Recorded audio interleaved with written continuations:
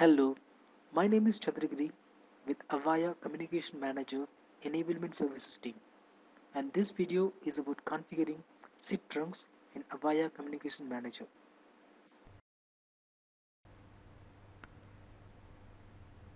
The first step in configuring the SIP trunks in Communication Manager would be to verify the system capacity. Go to Display, System Parameters and Customer Options. Go to page number 2 and verify that there are enough number of SIP trunks available. Right now in this system, the maximum administered SIP trunks is 24,000 and the number of SIP trunks used is 0. Now the next step would be to configure a node name for the other party to which we are establishing the SIP link. Type change node names and IP.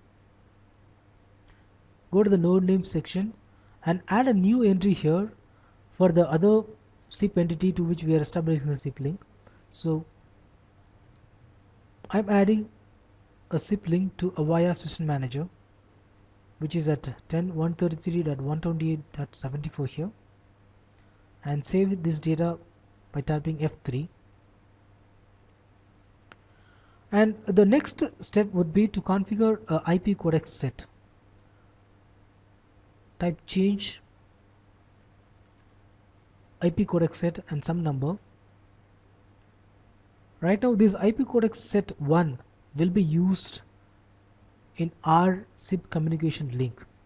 This IP codec set consists of only G7 and ALA if required add additional codecs here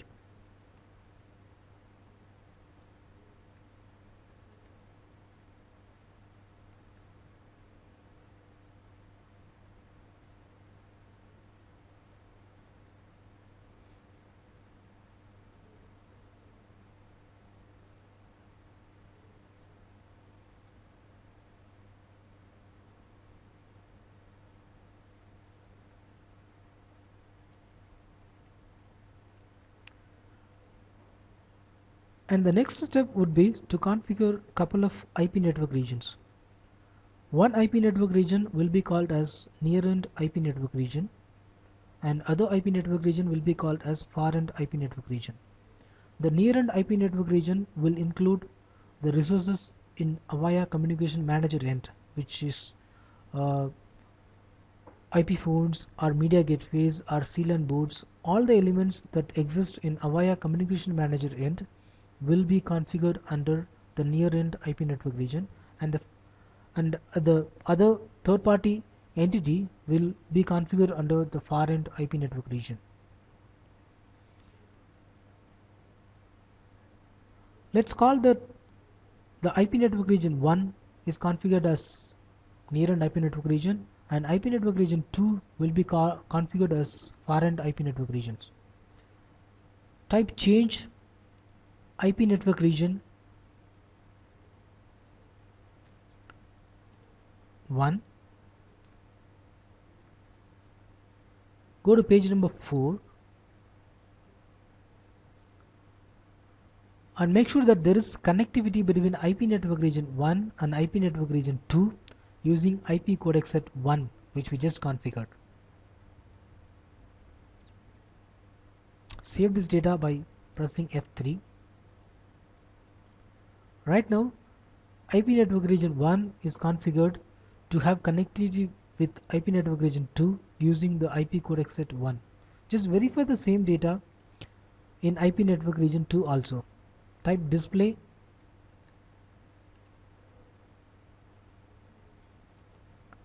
IP network region 2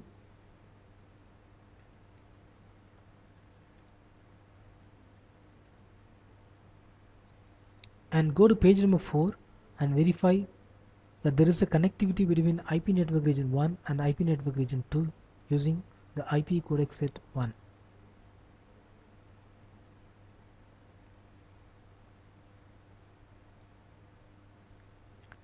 And the next step is to configure a signaling group and a trunk group. Type add signaling group and some value. Now this will take you to the signaling group form. In the signaling group type, type SIP.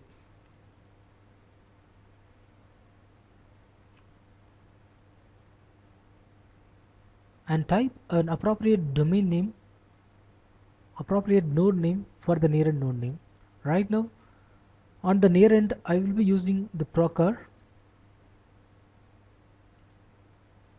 so I use procr here. In the far end node name section type the far end uh, node name that you have already configured in change node names IP configuration. So here I have to give ASM give an appropriate end network region here. Configure a end domain name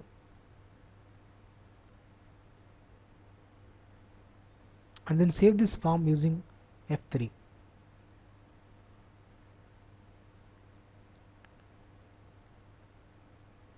and the next and the last step would be to add a trunk group type add trunk group and some number.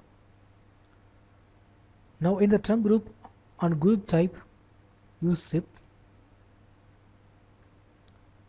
Give an appropriate name for uh, appropriate group name for this trunk group. Let's say it's CM to ASM. Configure a, a trunk access code here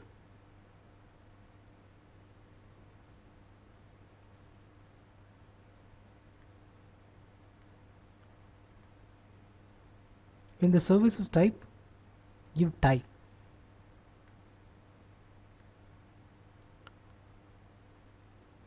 in signaling group section give 20 which we just configured and configure as many number of trunks that you want here.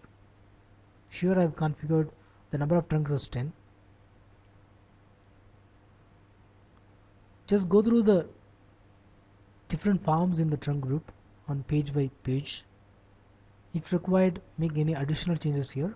Otherwise the same default configuration can be used as it is.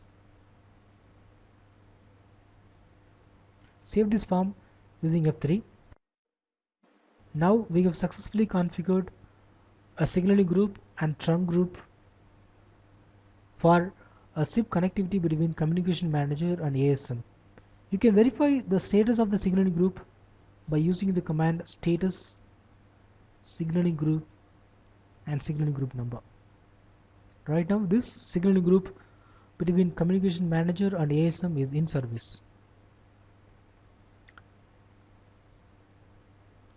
and this is how you configure SIP trunking in Avaya Communication Manager. Thank you for your time today. We welcome comments, questions and feedback at mentor at avaya.com or on Twitter at Avaya Mentor. For more details and other technical information, please visit support.avaya.com. Thank you for choosing Avaya.